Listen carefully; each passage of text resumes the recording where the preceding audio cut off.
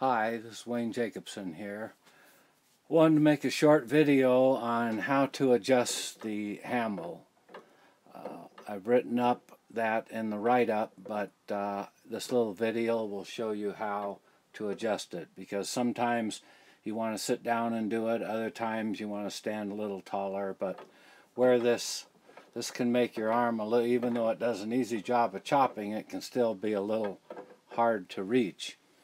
Um, the best way to adjust the location of this handle is to uh, mark the current location. I'm just going to put some scotch tape on here.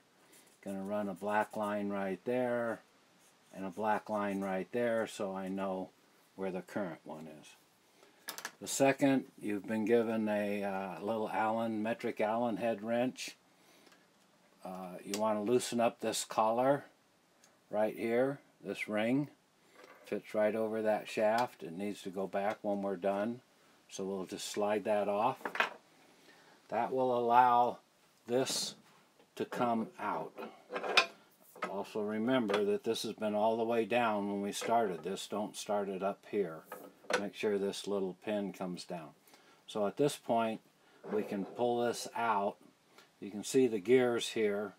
So we want to rotate it. If you want it up there, now you can see, now our chopping is going to be up here. If that feels uncomfortable, you want to rotate this out. No, you can bring it all the way out. It won't make any difference.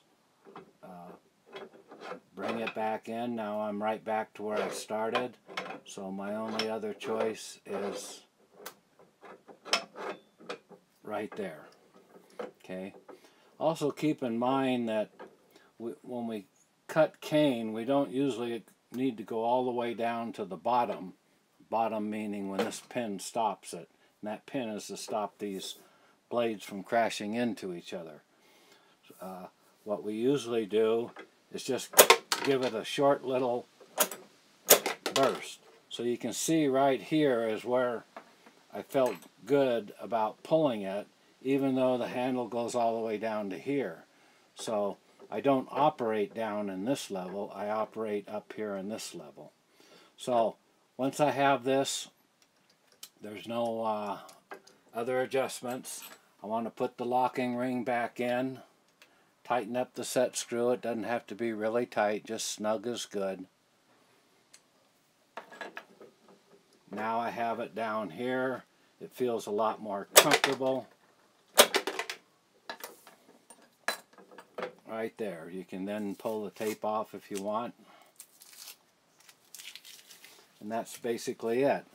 While I have you here, uh, I've shown in the past a lot ways, a lot of ways to catch the cane, and this is one that I really like. This is a nut jar from uh, Costco, and I've taken two earth magnets and just hot glued them right in. I put a little piece of sheet metal because you need steel for magnets. So now I just put that right on there, put it up against there. It catches all the uh, catches all the cane. It still allows me room if, if a few pieces fall in here. I can still pick them up and put them in there. Okay, that'll do it. Thank you.